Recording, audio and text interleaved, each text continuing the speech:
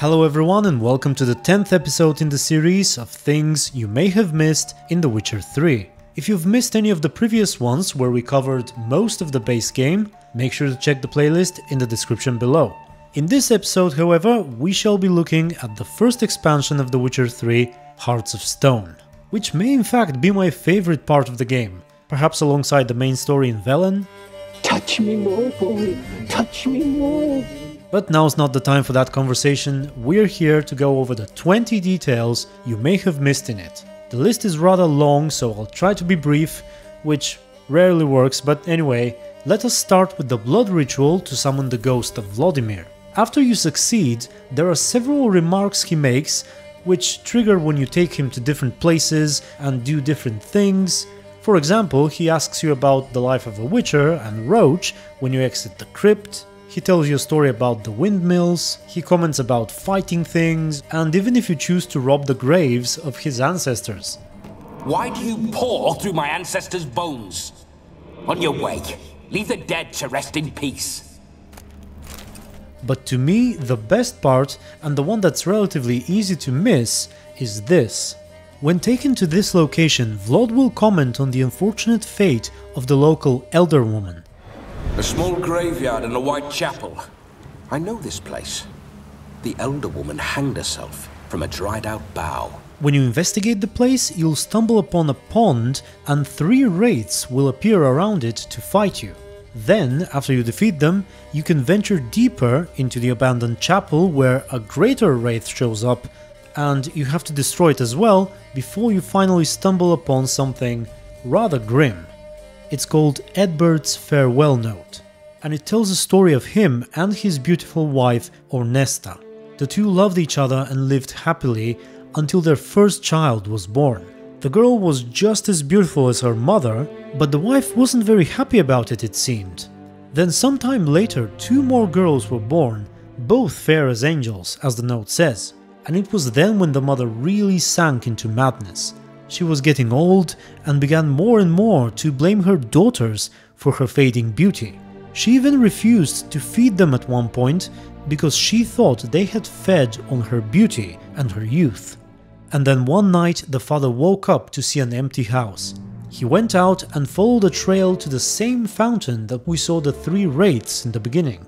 And he found his three daughters, butchered and mutilated, and in the distance, his wife, with a rope around her neck. She once again said that she had lost all she cherished because of her daughters, and then hanged herself. The note ends with the father hinting at the fact that he too will end his life soon. And finally, he begs the gods for forgiveness for himself and for his beloved Ornesta. Okay, for number two, let's move on to something a little more cheerful and see what happens if you try to take Vlad too far away from the wedding, despite him insisting that you shouldn't do it. Geralt, old chap, mind turning your ass around and going back to the wedding? I was to have a bit of fun, not a bloody walkabout. Keep this up, and I'll get sore legs is all. Not quite what Olgierd asked for. Fine, we'll go back.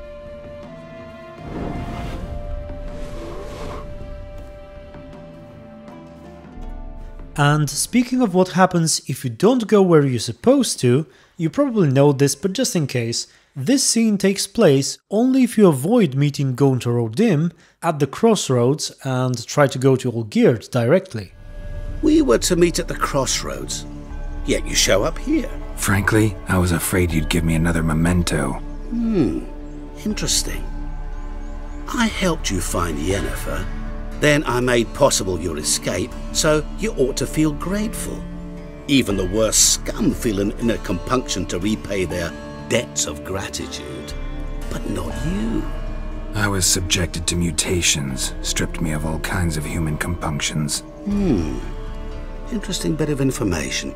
We shall have to discuss it at length later. Thing you may have missed number 3. We're going back to the wedding because we're not done with it yet. Um, another detail that may escape you here is that if you choose to go and play Gwent with the halflings before everything else, assuming that you lose and don the ass ears, all other people from all other events will notice them and will have a unique line or two about you wearing them. I'm all in. I never knew you to be such a gambler. You shall see many new sides of me this night, my dear. Many large sides. Those ears. You look, uh, interesting. A witcher with ass ears chasing swine. Better than a goddamn circus. What's that you say, peasant? Me? Uh, nothing. Good. Look, mutations don't just turn them barren as a mule, they give them an ass's ears to boot. Must have some other horse part hidden in his trousers. They sure named it right. Calm yourself, Dumpling. Master Witcher's here now. Perhaps he can aid us. Ow! The man's got ass ears. He should first seek to help himself. Oh, Such ears might be high fashion in his part. Oh, I doubt that. Changed your mind, my nymph? Won't you ever leave me be? Stay out of the cellar overlong. Cobwebs will seal it shut. Luckily, I've a great broom. Ah, go nag another. Alright, number 4 is brought to you by a faithful viewer of mine by the name of Gaming Solves My Issues. A wonderful name. Uh, I believe they are a female, so I'll refer to her as she. Please correct me if I'm wrong. So, she shared a great detail that I never thought was possible. Once again, it's part of the wedding, and it's about the dog and the fire eater quest. Turns out, if you insult the fire eater and he resolves to leave, you can not only just let him go, but also attempt to entertain the guests in his stead by juggling. Hmm, I can't help but wonder. Must it be a fire eater who performs? What if, instead, there was, oh, I don't know, a juggler? Just where would we find a juggler at this hour? But say you did. Would that do as a replacement for the fire sniffler? Well, I suppose it might. Then I shall perform. You? First I've heard of a juggling witcher. Today I'm no ordinary witcher. In my youth I had a great many friends among circus folk. They taught me well. I shall gladly save you from your troubles. Well, If, if that's the case, I'll, I'll announce the performance.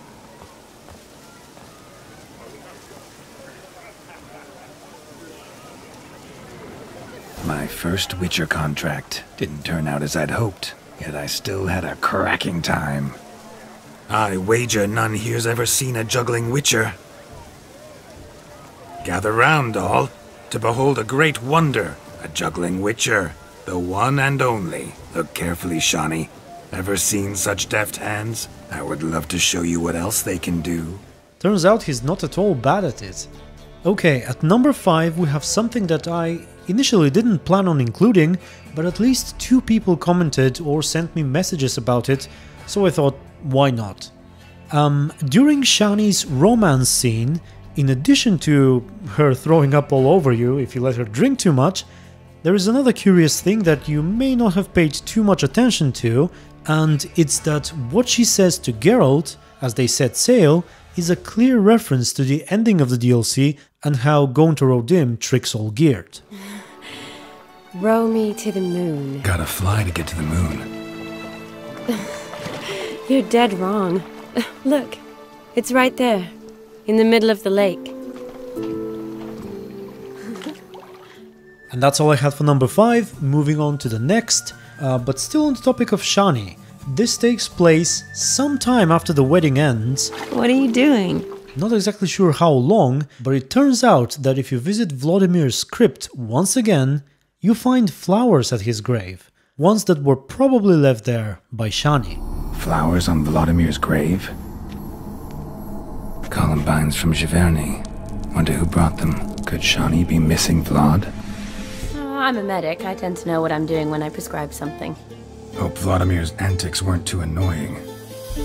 Uh, peculiar man. Ghost, true. But I found him likable. Wager he was a real hoot when he was alive. I think deep down Vladimir wasn't a bad person, and I think she saw that. Let us move on to the House of Borsodi now. Not sure if this is something people didn't notice, but the prodigal brother is actually attending the auction, at least at first. He can be seen hanging around the stairwell here.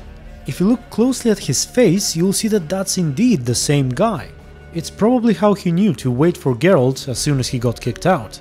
How exactly did he manage to get in and out unnoticed remains a bit of a mystery though. Hey, hey. Oh, and speaking of getting in, did you know that a certain dialogue choice can make one of the Redanian guards sing? And that is also a reference to a medieval Polish anthem, uh, as far as I'm aware, except Redania is replaced with Polonia.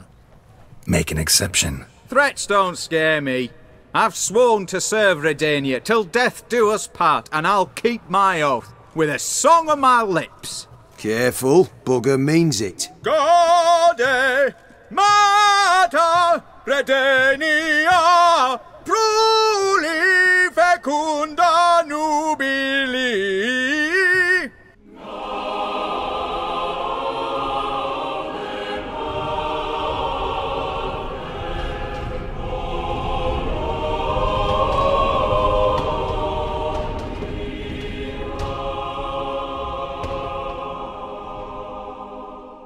Alright, now for number 8, something that I actually do very often, you can refuse to take part in the auction, which results in a cutscene where Geralt just eats and drinks while the others are bidding. Esteemed ladies and gentlemen, welcome back. I hereby open the auction.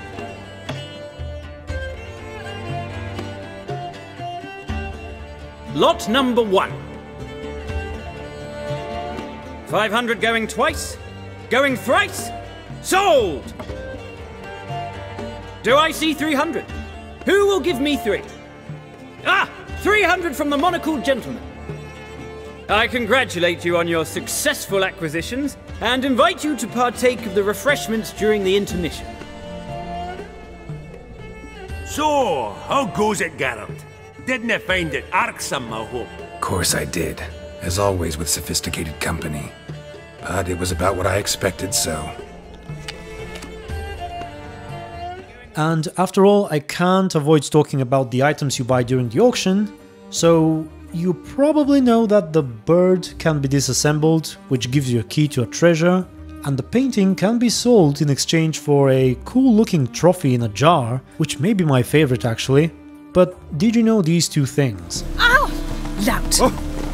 First, and that's probably the easier one, that the trophy came to the merchant's possession from Gaetan, or Gaitan, um, the Witcher from the Wolf and the Cat DLC, who slaughtered the entire village. I guess others refused to pay him for that trophy as well. And the second one is that Van Rogh, the author of the painting, is actually Iris, Olgierd's wife. During the heist later on, there is a note you can stumble upon which reveals that Van Rogh is actually her alias, Okay, we're halfway through the list and my voice is beginning to die, but uh, let's keep this going with Thing You May Have Missed number 10. So, we mentioned the brother is waiting for you after you get kicked out, but did you know that he has a different reaction based on whether or not you beat the guards during the fist fight right before you talk to him? Here's what he says if you won. Law says if you see someone hurt, you should summon a medic. Law doesn't say how fast, though so you can sit tight a while. Seems true what they say. Sword or no sword, a witcher brings gore. Not in the mood for your peasant wisdom. Who the hell are you? And here's what he says if you're lost. Your swords, master. Just need you to sign here. F fuck you. Hmm. Depositor refused to confirm receipt. Signed Sergeant Figner. A pleasant day to you. Seems true what they say. When it's many against one, even a witcher's done. Not in the mood for your peasant wisdom. Who the hell are you? If all goes well, dare say I'm your partner. Don't need any partners. Oh, I don't know about that. Okay, before we're through with the auction house, I have one final thing to mention. I made some videos about it in the past, and that's the fact that you can meet Vesemir's former lover while he's still alive, and she has a completely different reaction to it. We even learned that since they parted, it seems he hasn't ever had another relationship. And, hmm, Did he ever find a. a mate? No, haven't seen him with a woman in five decades. Me and the other Witchers, we often wondered what his story was. A pity. A pity our story didn't end differently. I might have. I should have ridden out after him. Please don't mention me when next you see him. You can even talk to him about the encounter before the Battle of Kaer Morhen, which, I must say, makes his passing even worse. Ran into an old friend of yours, Countess Mignole. Huh? Impossible. Where? Auction house in Oxenfurt. Love letters conveyed by a governess. Trysts in garden nooks. You scampering out a window. Last person I imagined dabbling in that sort of thing. Hmm. You might find it hard to believe, but I was young too once. Well, younger. She still lives in Oxenfurt. No age to go there, see her? Later, maybe. Once it's over. Once things are calm again. For number 12, we are going into the basement where the planning of the heist takes place. It's another tiny detail, but one that I didn't notice in my first playthrough. So if you have a look at the wall in the basement there, you'll see the faces of the potential cooperators for the heist. And among them, although it has been scratched, is that of our dear darling Triss Merigold. Can't quite imagine Triss taking part in the heist, although she did need the money to fund the escape of the mages from Novigrad, as we can tell from the Masquerade quest, so who knows? Now, before I proceed, I have a confession to make. I decided to leave the small details of the actual heist for a separate video, because there are just too many. Um, there are details based on the way you recruit each one of the members, um, based on the combination of members you recruit, there are different banters in the basement. Different people will react differently based on how you resolve the hostage situation. Then different people will side with different brothers based on which one you side with. And then different people will do different things based on how you resolve the situation after you chose to side with one of the brothers. Uh, and so on. So it's just, it's too much. It's gonna be a separate video. So we're moving on. Now, in number 13, I'd like to mention the missing halfling apprentice of the quest called Without a Trace. The clues will initially lead you to an old couple in the middle of nowhere, and if you aren't inquisitive enough, you may think that that's all there is to the quest. However, if you investigate further and go behind the house, you'll find a hidden basement, and in it, the half-eaten corpse of the halfling, no pun intended. From here, you'll have to either kill them or make them promise that they'll abandon cannibalism for good. Three things can happen to them after some time. First, if you spare them and tell the quest giver the truth, he'll pay you but he'll also vow to seek revenge. And indeed, upon revisiting the place later, you'll find monsters eating their corpses and Geralt will say, Whoa, Herbalist wasn't joking. Second, if you kill them and tell the truth, later on you'll stumble upon the same scene, yet Geralt's comment is different. Devoured by necrophages. Poetic justice at its best. And finally, if you let them live and lie to the halfling, upon returning to the place you'll find that the wife had died of hunger. A rather grim quest regardless of how you approach it. She's dead. Grew weak, weaker, then like a spark. Devils take your soul. And while on the topic of grim things, let us mention Gaunter O'Dim, and the fact that he shows up all over the place and is constantly keeping tabs on you in various disguises. Now sadly, I personally was only able to notice him twice, walking around the wedding and as one of the Redanian crossbowmen during the heist. This gentleman however made a video showcasing even more of his appearances, so let me take the liberty and play the rest of them,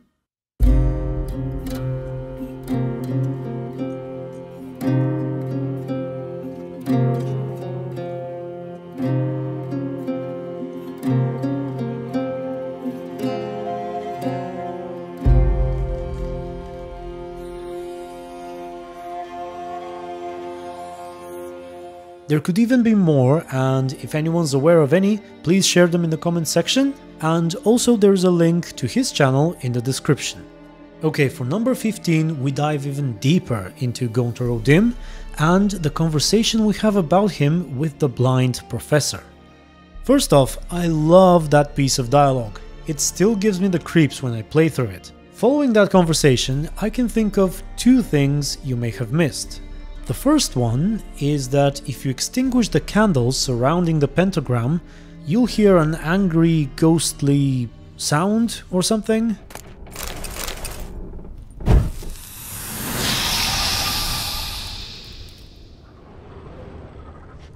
I believe I showed this way back when I used to stream on Twitch. And the second thing is the story from the professor's journal, which tells us of the horrible way that Gaunter O'Dimm had been torturing and manipulating the poor old man over the past year while he was inside the circle. For the first month, the professor had nothing but nightmares. He feared sleep, and then suddenly he had a dream of having a daughter. She was about 10 years old and it felt so real, especially the true love he felt for her. He began dreaming of her every night and it was as though he had a whole new life in his dreams, where he was a father, he had a daughter who loved him and he was happy, and so he no longer feared sleep. In fact, he longed for it to come. So after a while he thought that was a sign that Gaunter O'Dimm had given him peace, that all the bad has passed and he even began thinking of leaving the circle. Now, as soon as that thought crossed his mind, his daughter died, a rather awful death in his dreams. She was begging him to save her while he stood helpless, and it was horrible. This event left him a broken man, and he was constantly tormented by visions until he finally died. Okay, let's talk about something more cheerful now, like why Ciri exposes her breasts. I've mentioned this many times, so probably everybody knows of it, but I just can't leave it out of this video. And it's the fact that you can ask several people about Gaunter O'Dimm's mark. So far I was able to discover 4 individuals, Ciri, Regis, Triss and Yennefer. Let me play a quick compilation for you. Listen, think you could help me with this mark? It's driving me crazy. oh, Geralt, what have you gotten yourself into now? Long story. Can you get rid of this thing? Afraid not. And I doubt anyone else will be able to either. I'm so sorry. Folk give me strange looks anyway. Guess I ought to be used to it. Listen, this mark, can you do anything about it? I can scratch it if it itches, but I fear that's all. I'm not joking, Yen. Neither am I. These symbols, it's ancient, powerful magic. I've no notion how to remove them. Damn it. You're still one of the prettiest witches around in my book. Second only to Lambert. The mark on my face. Is it noticeable? Hard in the eyes? A bit. But you can't let it bother you. You know, folk would stare at the scar on my cheek, always. It used to upset me greatly. And? I started undoing one shirt button more. Problem solved. I should go. All right, my utterances are indeed towards the taciturn. For even the longest discourse would not allow me to explain to my interlocutor any issue of this purview satisfactorily. But while we're at it, be so good and explain to me how it was you acquired that startling scar on your face. Forgive me for being direct, but it's tormented me for some time now. Ah, long story, actually. Let's just say I struck up with some unsavory folk. No worries, though. I'll get out of it. And that's about it. Let's proceed to number 17. Oh, but before we do, let me take just one more moment of your time and ask you to like this video if you've enjoyed it thus far, and perhaps to subscribe to my channel if you haven't yet done so. I would also like to thank all my supporters on Patreon and YouTube for helping make all of this possible. Thank you very much, and now off we go to number 17. We asked Ciri about the mark, now it's time to ask Gaunter O'Dimm about her. Chances are you are aware of this, but like the previous one, I just couldn't leave it out. So if you haven't yet found her, and you let Gaunter O'Dimm take Olgierd's soul... Your soul belongs to me! You can ask the Man of Glass about your daughter. He claims that what matters is not whether or not you'll find her, because you will, but rather what you'll do later, and he basically gives you hints on how to avoid the worst ending. Alright, here goes number 18. Hey, you! Post papers! During this lovely lady's quest, you'll get the chance to Axii a couple of guards and make them count to 100. If you stay there and wait, they'll actually go all the way from 1 to 100, and when they're done, they even attack you. Five, six, 18, 19. ten, You mean 20, idiot? Gads, 80 fucking 4, 80 fucking 5, 97. 98, 99, 100. One fucking hundred. What now? No fucking clue, brother. Lippy fucker! Get him! Now for number 19, we'll be counting money instead, because if you haven't reached 30k, or was it 40k, you may have missed the tax collector. A rather funny guy with an equally funny piece of dialogue you meet in Oxenfurt. I believe he's part of the Hearts of Stone expansion, right? Anyway, he asks you a series of questions which all refer to different activities that players resort to to make a lot of crowns like killing cows in White Orchard, selling pearls, or plundering people's homes. So, if you admit to these deeds, he'll ask you to pay an income tax of 1000 crowns at Vivaldi's bank. Vimme, could you do me a favor? Oh, I fear not. You can't? You see, I've been told you owe back taxes. That means I cannot provide you any services till you take care of that wee fuck up. Fine, I'll just pay it. Sheesh, thought portals were bad. Think I detest taxes even more. If you do not pay it, you won't be able to use the bank's services, though you probably don't need them if you're rich. And if you say that you haven't done any of this, he'll give you a diploma. It adds up. To the crown. I say, good sir, you are exceptionally upstanding. It'd be rude to disagree. In these times, such civic virtue is a rarity. It must be commended, rewarded. Here, What? What's this? a diploma. I bestow on you the title of taxpayer in good standing. I'd suggest you frame it, hang it in a place of honour. Congratulations! And speaking of Vivaldi the banker, did you know he used to look differently when the expansion launched? For some reason he got a new unique model, um, but I think I kinda preferred his old one, to be honest. Number 20 is this pig. Shit. Show me what you got.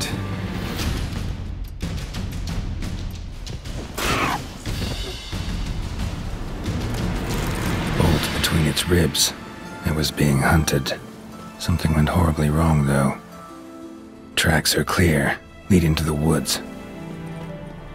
Hmm This little piggy ate raw and steaming human flesh.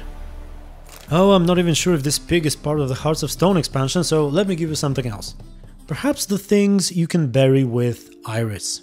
So, as far as I know, you can choose one of three things her sketchbook, her painting, and her hairbrush. And to each, she has a unique reaction when you finally conquer her greatest fear. Uh, which, by the way, I think was a great way to tell her story, um, starting from Olgierd being the one who combats that which she fears, and ending with he himself becoming Iris's greatest fear. Uh, but anyway, so in the middle of that conversation, she can say one of three things depending on which item you buried alongside her body. And here are the lines. For the painting, When you placed the painting on my grave, I remembered the day of my marriage. for the hairbrush, When you placed the hairbrush on my grave, I remember brushing my hair while Olgierd watched in silence. and for the sketchbook. When you placed the sketchbook on my grave, I remembered learning to draw my husband's face. Now before we end this video, let me quickly address three things. and these are things that people have claimed are rare details in Hearts of Stone through comments or private messages, um, but actually aren't. First, someone commented about how you're able to loot a red robe and boots next to Iris's bed if you go back to the house after you take the rose. While that is true that you can get those items, you actually can loot them at any point, even before you buried her body, so they're always there. The second thing that turns out to be false is that Lambert apparently has a unique reaction if you have your swords enchanted with the uh, Zerrikanian runecrafter's rune words from Hearts of Stone. Well, I tested it and he says the exact same thing he always does. And Geralt indeed mentions a Zerrikanian master in his response, but it's not the guy you meet in the expansion. He says that even before the release of Hearts of Stone. Well, well, color me impressed. Where'd you learn them tricks? It's an art. Learned it from this old master down in Zerrikania. Yeah, yeah. Save that tale for your next sorceress. And the third bit is that during this scene where Gaunter O'Dimm stops time, he will, at least at certain points, stare into the camera, breaking the fourth wall, so to speak. But as far as I can tell, this may just be a coincidence from the way his eyes are animated. I went through the scene several times and I must admit I didn't see anything too convincing. This one time I shall spare you and not grant your wish. All who have learned my true name are now either dead or have met an even worse fate. Alright, and with that, we're done. A bit of a long video, but I hope you guys enjoyed it. Let me know whether or not you did. Also, did you miss any of these things? And if I also forgot to mention something cool, make sure to comment about that as well. Thank you very much for watching, and until the next video, stay tuned and be good. Okay, is anyone still here? I finished editing this video and then by accident I found another detail that I've never seen before. So if you don't mind, I'm just gonna slap it here in the end. It turns out there is a small scene that plays if you begin the quest to fish for Shani's shoe during the wedding, but change your mind and try to do something else before you've recovered it. Here's what happens. Did you find my shoe? If not, I think you should come back and look for it. In the lake. Oh, never expected silt could conquer a man like you. Alas, I couldn't raise it up. For the first time in my life, I swear, Shani. Oh, devastating for you. I'm sure. But I'm left without a shoe. Never fear, I shall retrieve it, or drown trying. Okay, the end. Yes, Geralt. You know, been wanting to ask you something. Mm, ask me now. Just curious. You ever play Gwent? Oh, Geralt. Geralt.